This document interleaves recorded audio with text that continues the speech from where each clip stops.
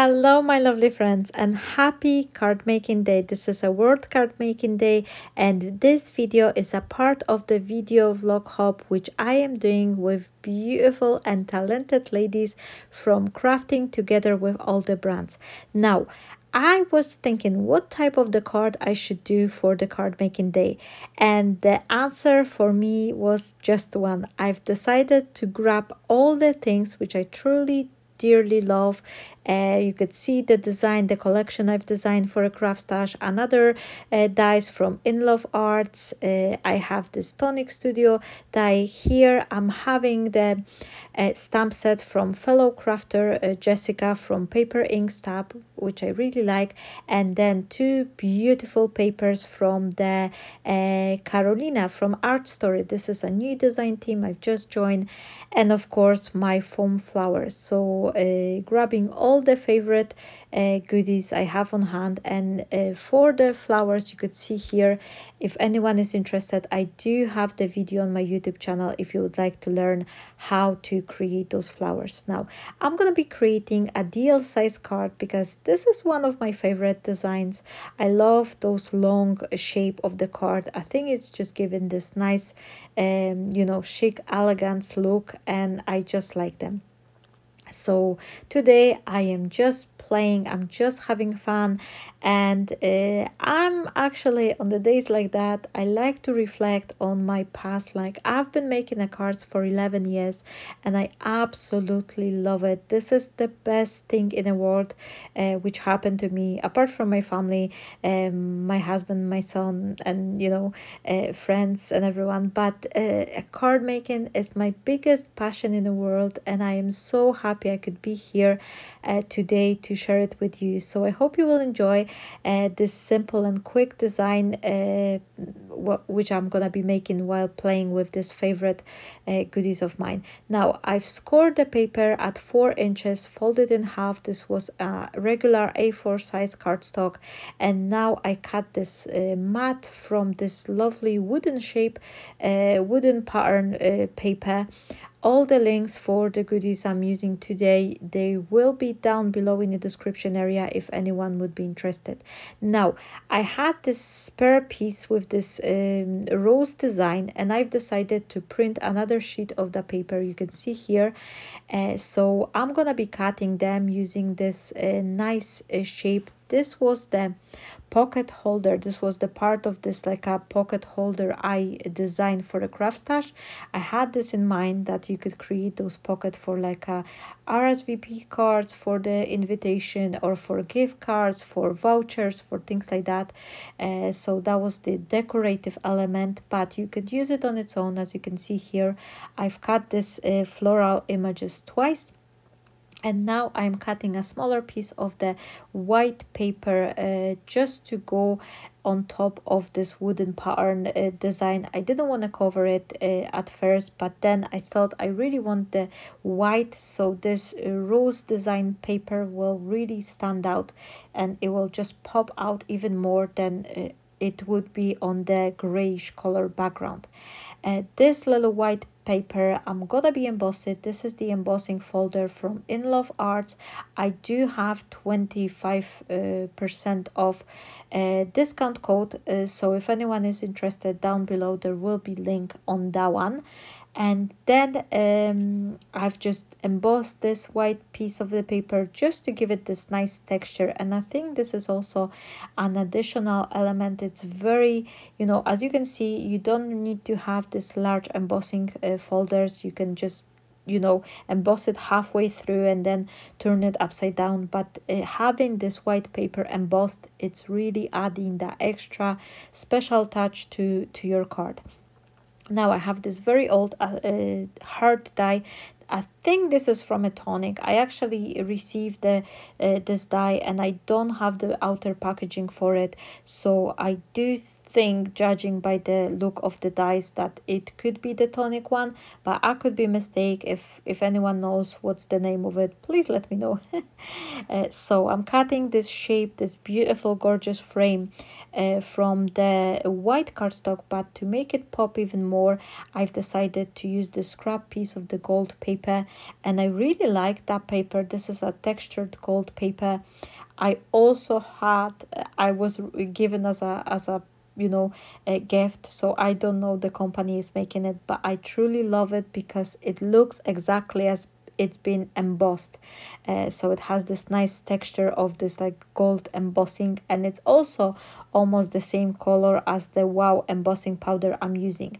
Now i also grab another leaf die you could see here this is a very old i think it's retired already uh, the die this leafy uh, dies from spellbinder and this is actually has very special meaning to me because this was my very first uh, die set i was owning I actually bought two two or three of them.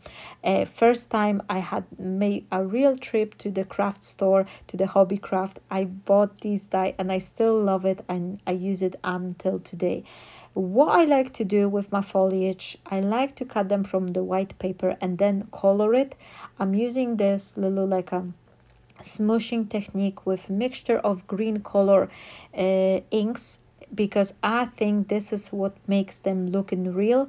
And because the um, the leaves on this uh, paper which I've already used they are not super green color they're more kind of like a olive tone. This is what I'm aiming at and that's why I'm adding more like a, a Peeled Paint uh, and you know those like a olive tone colors to my leaves rather than uh, like a green green grass color uh, instead. So you can see here I'm holding the picture right beside me once I'm coloring those leaves and uh, it's few extra steps. I like to stamp over them with the texture stamp or text stamp. And then i also take my finger dabber and i'm going around the edges of the leaves just to give them that extra uh, you know dimension. And it takes a little bit work. It's much you know a little bit more work than you would just cut it from the green cardstock. But this way i think it makes the leaves looking way more natural. They're not just like a flat uh, you know die cut from the plain cardstock. They really look nice and dimensional. I didn't want to grab i didn't have any white cards uh, on hand so i just used the back side of the printed paper uh, to stamp the sentiment and you can see in a minute I will be uh, embossing it. I actually trimmed the paper uh, so it would be easier for me uh, just to just to you know work with it. Um, I emboss I've stamped the image I sprinkle it with the gold embossing powder and then um, I redo it twice. So I've uh, embossed it twice and then I'm just uh, you know uh, you can see now it's it's a small piece of a paper because before I emboss it second time I cut it. So now I am trimming around the sentiment uh, because I wanted to give it this nice kind of like a die cut shape. I would normally pull my uh, Brother ScanNCut machine because I like to use it for this type of the you know fancy cutting of my sentiments but because um, I only have this one sentiment to cut I've decided I'm just gonna do it with my scissors. And you can see here how beautifully it's match up with the with this uh, golden paper which is underneath the the heart uh, now since I have all my elements ready it's time to put this card together. And this is gonna be a very quick card. I think it took me like uh, around 30 minutes to to put it together uh, but considering that I already had my uh, foam flowers made uh, so uh, you know uh, it's something simple and easy to do. Everyone can you know do it as a last minute card but i think those type of the cards they really look nice and elegant. Uh, those two bits which i have here like uh, this uh, shape elements i am giving them additional dimension by backing them up with the foam and then I will place them on a card. I like to add a drop of the hot glue on my um, on my foam. So this way I have a little teeny tiny bit room to wiggle uh, so I could make sure I'm just you know placing them the exact spot I, I want them. And once they're gonna be glue uh, I will then um, build up the layer on top of it. This is two separate uh, you know elements but once I'm gonna be putting my heart on top of it in the middle of it I will then uh, you know it will just cover it up. And if you don't have or you would you would not have any like frame or element to put in the middle you can always use a ribbon and wrap around it. So no one will never see that there is any like you know uh, there it's been cut from two separate elements I'm placing my heart which I've also add some extra foam tape. And here you can see I was trying to put this sentiment like across uh, like kind of like a bridge uh, on top of the card. But then I've decided hmm it's really gonna be looking nice and it will fit uh, perfectly onto my heart on the inside. So this is what I've decided to do. But to give it even more like a special touch and make sure I will accent the fussy cutting which I have on the sentiment. I've backed them up with the pieces of the uh, foam. Uh, so it will be even more dimension and this element will this sentiment will pop up from the heart shape even more uh, so um, here you can see I am just adhering it and top tip my friends if you are using the a hot glue on embossed sentiments like that. You've got this like embossing already uh, done.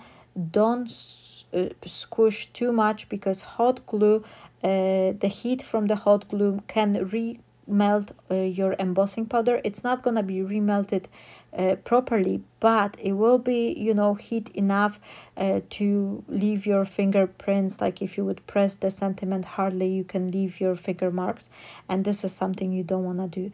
Now i'm just trying to see which size of the uh, flowers will be matching here and uh, let me know in a comment if you have been watch my flower making series and if you would like me to do a couple more because there's still a few flower shapes i think i haven't been filming yet. So let me know if you're interested in that.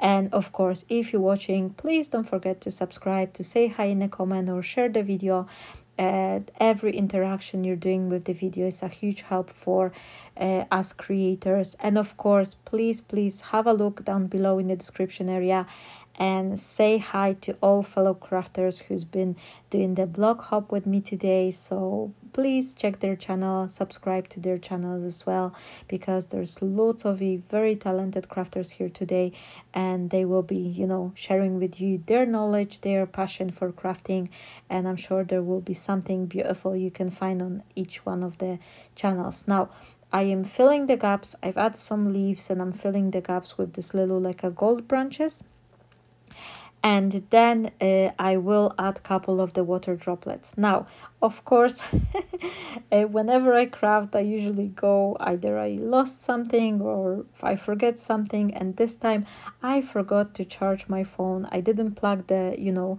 the cord uh, from the charger, and uh, my battery went down. I haven't noticed that, so the last like two minutes of the card, I've just didn't record it but uh, luckily I've put everything together the only one part is which is really missing from the video is the part when I'm gonna be adding this string bow. But this is something I've been adding to many cards before in the past so it's nothing really you know I've been missing out. I'm super super lucky that I've managed to actually record this 95% of the video uh, before it went down. Uh, I hope you enjoyed today's card and uh, let me know if this is something like uh, in your style or uh, what kind of cards you prefer to do what's your favorite type of the card and let me know if you have been uh, doing any card for the world crafting uh, world card making day if you're planning to craft or what's your idea for today and how many years you've been crafting. This is also something you know i'm interested in. Let me know in a comment for how long you've been crafting uh, i would love to know that thank you so very much my friends for being here for everyone who's been watching my channel who also recently joined and who uh, who maybe you just watching me for the first time. Thank you so much for being here for supporting me uh, in my crafting adventure. I hope i will bring you lots of joy through my videos and lots of good ideas. Maybe uh, you will like them. Stay blessed my friends and bye bye